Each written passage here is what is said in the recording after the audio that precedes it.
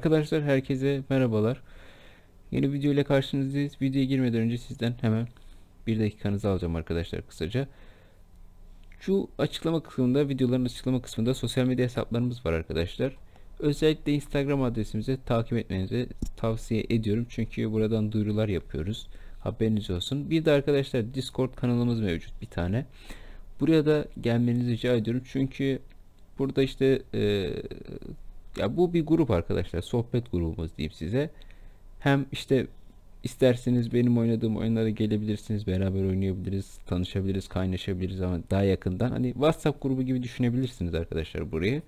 Açıklama kısmına ben bütün videolarımı bırakıyorum Discord linkini. Oradan Discord kanalımıza gelebilirsiniz. Ben genelde burada aktifim.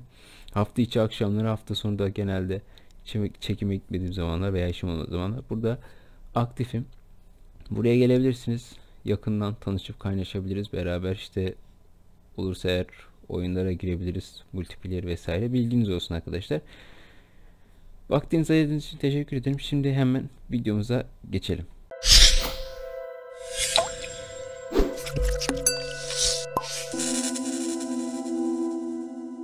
Evet, herkese selamlar ve sevgiler arkadaşlar. Bugün 403'ün tekrar peronlarda görünüşünü çekiyoruz. Ee, sağ olsun Alpar Turizm izin verdiler.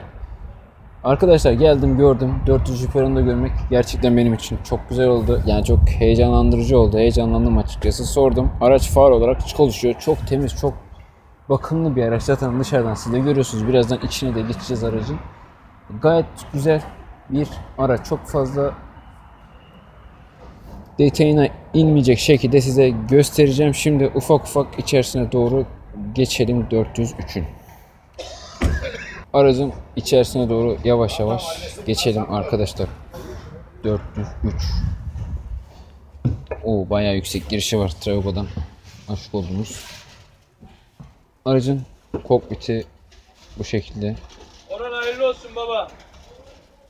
Beni baş. 403 yolda görmek heyecanlandırdı açıkçası. Tabii bu araç diğerleri gibi 3 basamaklı falan değil.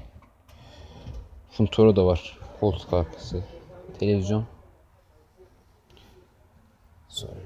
Araç zaten bakayım kaç kişilik. Araç 40 42 44 civarı. Arkadaşlar burada zaten koltuk numaralarını görüyorsunuz. Araç yeni oldukça şık. Koltuk arkasında televizyonu var. Aracın interneti vesaire her şeyi var. Modernize edilmiş bir 403. Baksanıza ya çok güzel değil mi? Tekrar yollarda görmek. Bir de uluslararası yollarda çalıştığını görmek. Gayet güzel olmuş. Bakın.